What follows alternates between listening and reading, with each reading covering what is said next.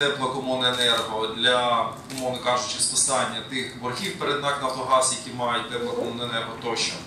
Значить, враховуючи ту специфіку, що наша область є, можна сказати, унікальною особливою, в тому числі тому, що е, Полтава Теплоенерго о, є власністю обласної ради, Е, тому ми розробляємо додаткові механізми щодо компенсації тієї різниці у тарифах, які ми от отримуємо е, в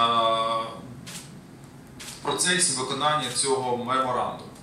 Е, Тому я передаю надалі слово е, Дмитру Сергійовичу.